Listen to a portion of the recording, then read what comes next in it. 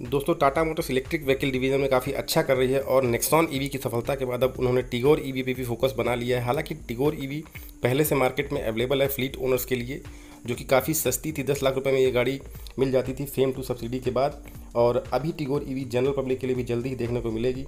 हालाँकि ये एक ही कलर में लॉन्च होगी ब्लू कलर में लॉन्च होने वाली है, जैसे कि आपको नेक्सॉन ईवी का कलर जो ब्लू वाला है सेम उसी तरीके से आपको टिगोर ईवी भी देखने को मिलेगी।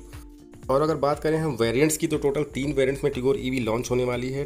पहला जो बेस वेरिएंट होने वाला है, ये एक्सन के नाम से आएगा, जिसमें आपको रियर व्यू मिरर और डोर हैंडल्स वगैरह सब, सबके सब ब्लैक फिनिश में मिलने वाले हैं।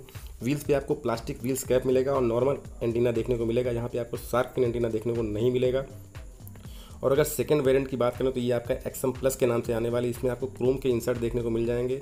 रियर व्यू मिरर पर ही आपको इंडिकेटर्स मिल जाएगा और व्हील्स जो होंगे कम्प्लीटली अलॉय होने वाले हैं और सार्क फिन एंटीना यहाँ पे देखने को आपको मिलेगा। और इसका जो थर्ड वेरिएंट आने वाला है, जो कि टॉप एंड वेरिएंट होगा एक्स जेट प्लस डी के नाम से आने वाला है। DT मतलब डुअल टोन कलर में ये गाड़ी आने वाली है। इसका रूफ अगर आप देखेंगे तो कम्प्लीटली ये ब्लैक फिनिश में देखने को मिलेगा। और ये कार भी टोटली जिप्ट्रॉन प्लेटफॉर्म पे बेस्ड होने वाली, जैसा कि नेक्सॉन ईवी जिस प्लेटफॉर्म पे बेस्ड है। और टाटा मोटर्स का ऐसा कहना है कि उन्होंने अब तक लगभग साढ़े आठ हज़ार से ज़्यादा ईवीज़ बेची है, जिसमें से छः हज़ार से ज़्यादा नेक्सॉन ईवी ही बेची है, जो कि काफ़ी अच्छी बात है। और टिगोर ईवी में आपको लिथियम आयन बैटरी पैक के साथ एक पावरफुल मोटर देखने को मिलेगा। और मोटर और लिथियम आयन बैटरी पैक दोनों ही आपके आई रेटेड सर्टिफाइड होने वाले हैं। और अच्छी बात यह है कि इन दोनों पे आपको आठ साल तक की वारंटी देखने को मिल जाएगी। और अगर चार्जिंग की बात करें तो 15 एम्पियर के होम चार्जर से आप इसको साढ़े आठ घंटे में 100 परसेंट चार्ज कर सकते हैं और अगर फास्ट चार्जिंग की बात करें तो एक घंटे में इसको आप लगभग 80 परसेंट तक चार्ज कर पाएँगे। और अगर पावर आउटपुट की बात करें तो इसके मोटर से जो पीक पावर मिलने वाला है 55 किलोवाट का आपको पीक पावर देखने को मिलेगा और पीक टॉर्क की बात करें तो 170 न्यूटन मीटर का टॉर्क देखने को यहाँ पे आपको मिल जाएगा। तो अगर हम इस नई टाटा टिगोर ईवी को समराइज करें तो ये कम्प्लीटली अपने टेक्नोलॉजी अपने फीचर्स और अपने सेफ्टी पे बेस्ड होने वाली है और इसमें आपको 30 से भी ज़्यादा कनेक्टेड कार फीचर्स मिलने वाले हैं, जैसा कि एक पेट्रोल कार में आपको देखने को मिलता है। तो अगर पेट्रोल कार के सारे फीचर्स सारी सेफ्टी आपको एक इलेक्ट्रिक कार में देखने को मिले तो काफ़ी अच्छी बात होने वाली है। तो अगर ये कार इतने सारे फीचर्स के साथ आने वाली है तो इसकी प्राइस क्या होने वाली है? बट प्राइस से पहले इसकी सेफ्टी के बारे में जानते हैं। और अगर सेफ्टी की बात करें तो टाटा की कार्स ऑलरेडी अपनी सेफ्टी के लिए जानी जाती हैं। तो ये कार भी जो आने वाली है फोर स्टार रेटिंग के साथ आने वाली है। जैसा कि मैंने पहले ही आपको चार्जिंग के बारे में बता दिया था, अगर इसको आप फास्ट चार्जर से चार्ज करते हैं तो ज़ीरो टू एट्टी परसेंट ये एक घंटे में चार्ज हो जाएगी। और नॉर्मल पंद्रह एम्पियर के चार्जर से अगर इसको आप घर में चार्ज करेंगे तो साढ़े आठ घंटे में लगभग अस्सी परसेंट इसको आप चार्ज कर पाएँगे। तो इन शॉर्ट अगर बात की जाए तो ये जो नई टाटा टिगोर ईवी होने वाली है, ये कम्प्लीटली बेस्ड होने वाली है अपने कंफर्ट के लिए, अपनी सेफ्टी के लिए, अपने टेक्निकल फीचर्स के लिए। और टाटा मोटर्स ने काफ़ी ज़्यादा वर्क किया है और काफ़ी ज़्यादा सक्सेस गेन की है अपने अर्लियर प्रोडक्ट में, यानी कि टाटा नेक्सॉन ईवी में। और इसके बाद आई होप कि टाटा टिगोर ईवी भी उसी तरीके का कुछ कमाल कर पाएगी इंडियन मार्केट में। और अच्छी बात यह है कि टाटा मोटर्स काफ़ी ज़्यादा इनिशिएट कर रही है इलेक्ट्रिक व्हीकल के लिए, जो कि काफ़ी ज़रूरी है आज के समय में पोल्यूशन को कंट्रोल करने के लिए। और इसमें आपको C C S two compatible fast charging देखने को मिलेगा, जिस कि मैंने पहले ही बताया कि एक घंटे में लगभग अस्सी परसेंट तक इसको आप चार्ज कर पाएँगे।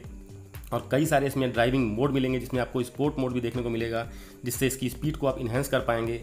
एक पेट्रोल कार जिस तरीके से आप ड्राइव करते हैं, उस तरीके का फीचर्स इसमें देखने को मिल रहा है। और अगर हम बात करें इन्फोटेनमेंट सिस्टम की तो इसमें आपको सेवन इंच का टच स्क्रीन इन्फोटेनमेंट सिस्टम देखने को मिलेगा, जिसमें आपको चार स्पीकर देखने को मिलेंगे, चार ट्विटर्स के साथ, जो जिससे कि आप म्यूज़िक का भी आनंद उठा पाएँगे। और इंटीरियर्स की बात करें तो इंटीरियर भी काफ़ी अच्छा है।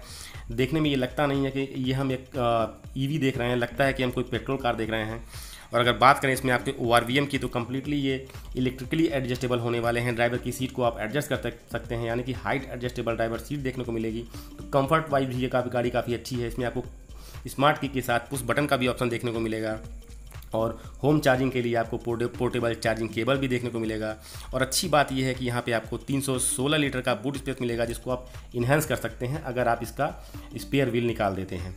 और जैसा कि मैंने पहले ही सेफ्टी के बारे में बताया, इसमें आपको I P sixty seven rated waterproof battery pack and motor देखने को मिल जाएँगे डुअल एयरबैग मिल जाएगा A B S with E B D C S C की टेक्नोलॉजी देखने को मिल जाएगी, साथ ही साथ इसमें आपको hill ascent assist and hill descent assist type के फीचर्स देखने को मिल जाएँगे।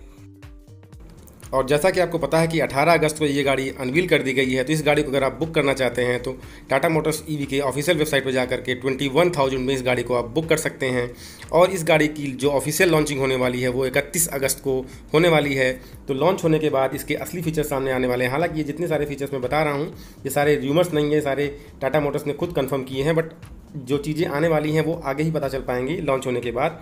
और अच्छी बात यह है कि इस गाड़ी की जो स्पीड है, ये पाँच सेकंड में ही आपको ज़ीरो से सिक्सटी किलोमीटर तक की स्पीड कैप्चर कर लेती है तो इसकी स्पीड भी काफ़ी अच्छी होने वाली है। और बात करें इसके हम अगर रेंज की तो रेंज कंपनी का ऐसा दावा है कि लगभग 250 किलोमीटर तक का रेंज इस पर आपको देखने को मिलेगा। क्योंकि एक इलेक्ट्रिक व्हीकल जब हम खरीदते हैं तो सबसे बड़ा जो कंसर्न हमारा होता है, वो इसकी रेंज होती है। तो इसका रेंज भी काफ़ी अच्छा है 250 किलोमीटर कंपनी का ऐसा कहना है। तो आई होप कि 200 के ऊपर इसकी रेंज होने वाली है।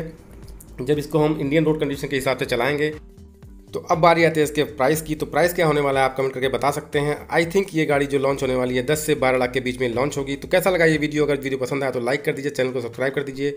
आज के लिए बस इतना ही। Thank you very much take care bye bye जय हिंद. वंदे मातरम.